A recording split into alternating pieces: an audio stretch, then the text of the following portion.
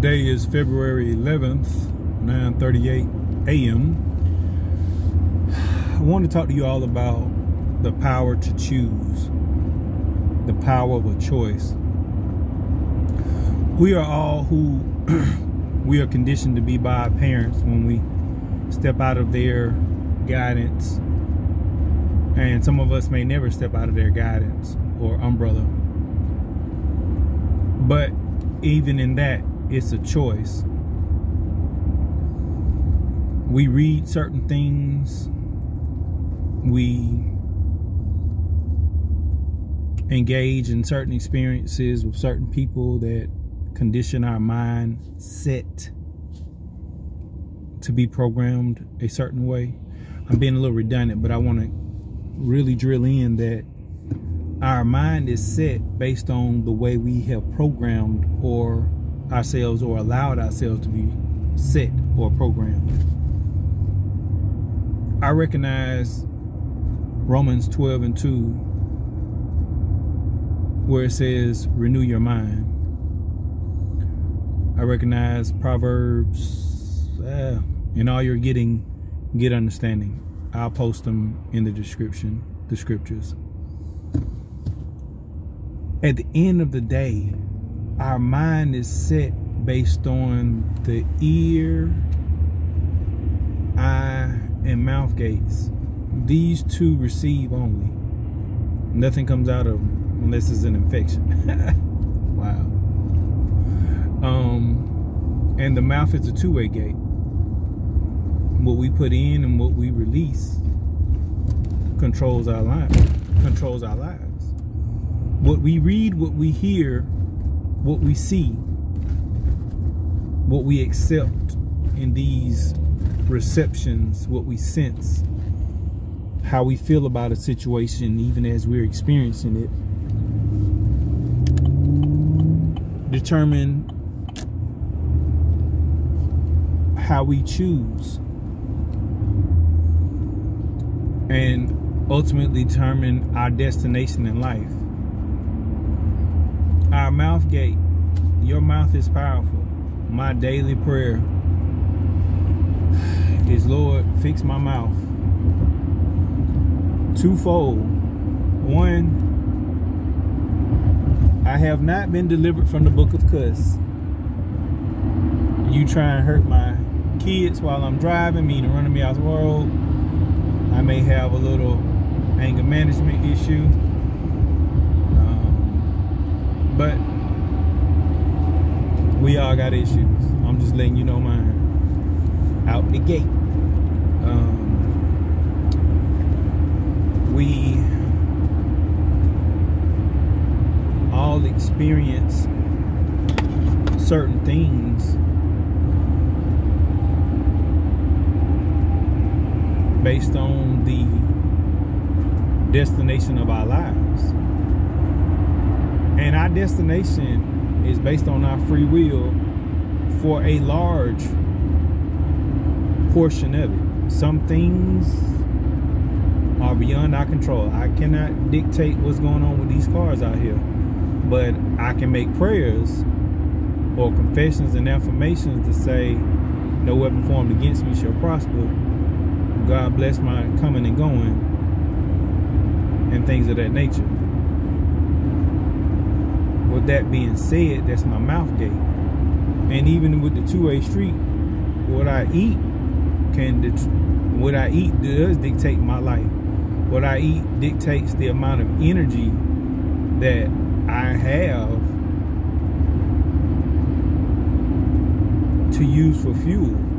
What I eat determines the health and trajectory of my life high blood pressure, perfect blood pressure, diabetes,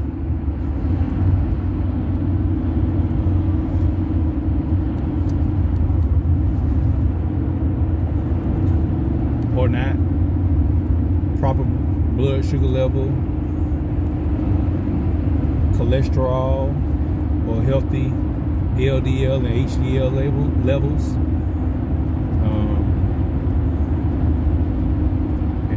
Any rate, you, you get my point without trying to exacerbate the uh, the mouth game.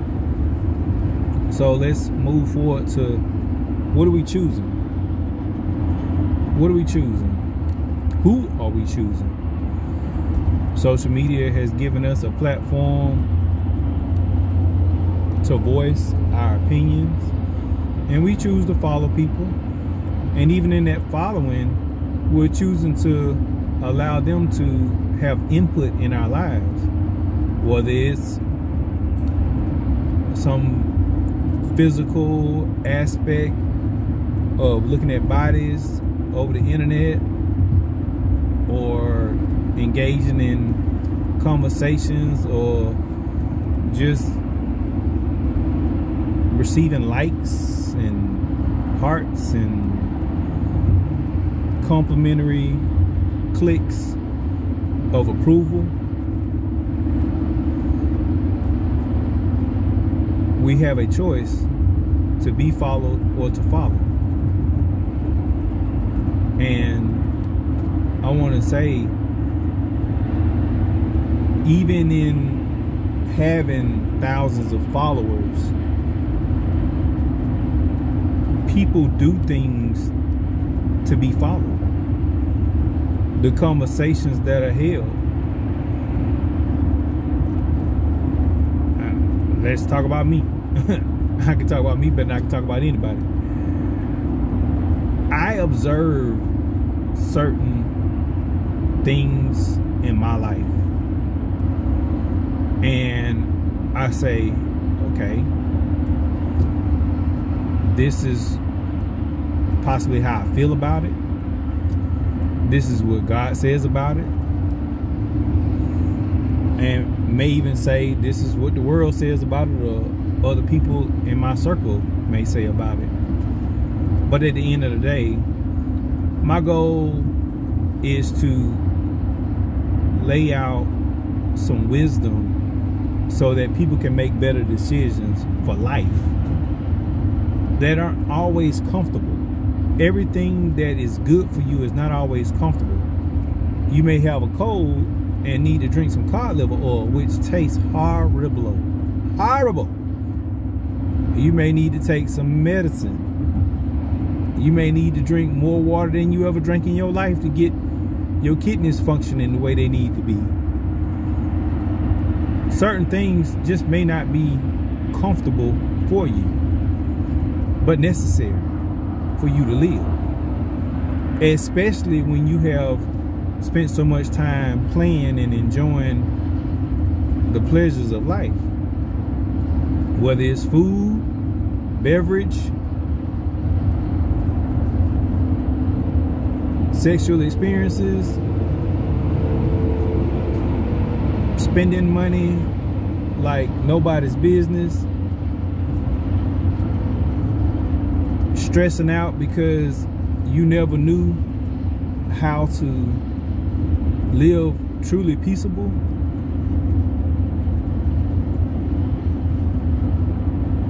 recognizing that you got an argumentative spirit and everything is up for debate instead of just trying to keep the peace.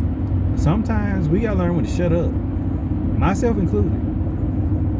Even with intimate friends, I have to learn when to share and when not to share to create a safe space to communicate.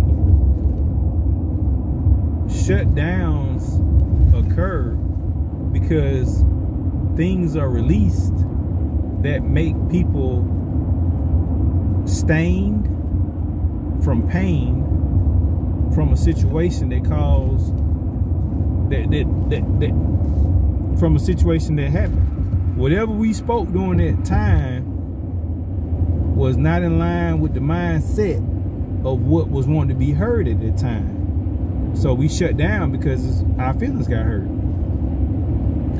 And I want to add that we don't always recognize what we do to shut people down, especially when we just going with the flow of things, not thinking about what we're saying, which is a choice. And until you have hurt someone important to you or damaged something that was valuable to you and recognize the impact that you made on a situation you may never be responsible for a reckless mouth that keeps causing crashes and pileups based on you not wanting to be responsible for what you said. I recognize people often these days don't want to take responsibility for what they say. They hide behind aliases or text messages or phone calls or social media to say whatever they want to say because they're never in front of the person and have to deal with the consequences of them going off in front of that person because they know there will be consequences and repercussions. I've learned that whether I'm in somebody's face or not, say what you need to say in an effective way that doesn't damage the the road the bridge, the relationship. Certain things you can't take back. Even in joking, you could touch an area that's sensitive to a person and take the life out of the relationship just by hitting something that is sensitive to them. Now, there's only so much responsibility that you can take when you don't know or understand a certain thing about a person. And even with understanding you have to accept that this is that person. There's only so many times a person is going to, this is not biblical, but this is real.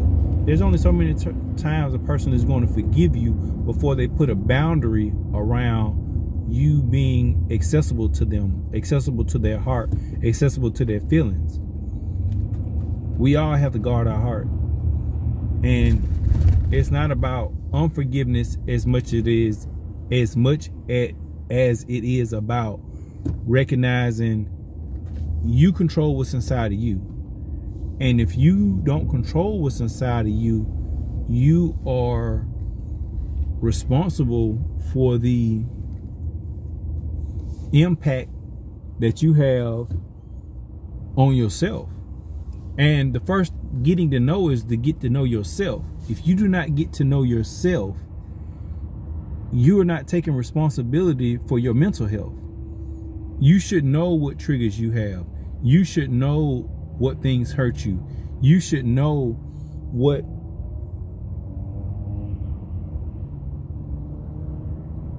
triggers you have that set you off, that upset you. Now there's some general things that should we should all know based on societal norms. No, you should not cut somebody out. No, you should not hit somebody when angry or bullying. There are certain things that no, you should not do. But it all goes based on how we were trained. And just because I was trained a certain way does not mean that that was effective for the next person or for people in general. So there are certain societal norms, and even with those societal norms, everybody does not agree with those.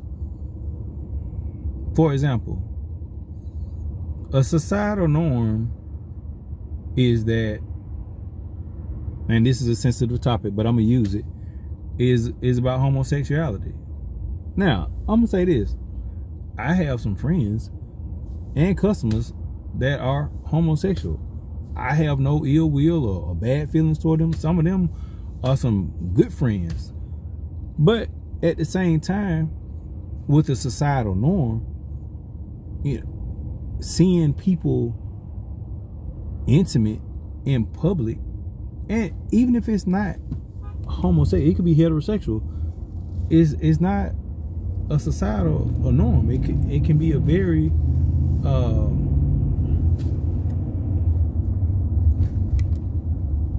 it could be a situation that could cause some tension with such displays in front of minors, meaning like little kids, nine and under kids, ten and under kids, and that's what I want to want to uh, highlight. But some people's mindset is that I can do whatever, whenever, in front of whoever, and it don't matter. Well, there are always repercussions for our actions, whether we want to take responsibility for them or not. I'll never forget. I saw a, a couple, and this was at the very beginning of same-sex marriages that the children were called this is about like 20 years ago the children were calling and it was obviously a female but they were calling her daddy. And i that just did not register i mean i didn't understand. Like i said this was you know about 20 years ago or whatever and i was just like wow. I mean at that time it was a societal norm that you know the daddy is the male figure and the mother is the female figure. So that's why I wanted to highlight that point. And now that times have changed, those, you know, people have a right to call people whatever they want to, based on how their mind is set about situations. Whereas if you go in certain areas of the world and something like that happens, a person will be killed. And we live in America, so it's a pretty liberal society where certain societies are just not that liberal. And heavy re religious areas those norms are not so in, are not um, accepted as much. But this is all based on our mindset. And let's go to another extreme. Let's look at religion. I'm not talking about a relationship with God. I'm talking about let's look at religion. How can a parent reject their child even if their child did come out homosexual? You may not agree with the act, but to totally disassociate yourself with your child because they chose this lifestyle? I mean, you don't have to agree with everything, but I feel like you should love your child. That's what God does. That's what Jesus did. No matter what the person did. God said he'll never leave nor forsake you. And I just say even though there may be boundaries established and saying like, hey, you may not be able to engage in whatever activity, and even if it was a heterosexual situation, you know, may not be able to engage, but it's still our mindset. So I left these examples to get you to think about why you choose to be you. How do you choose to be you? and what makes you choose to be you. Have a good day.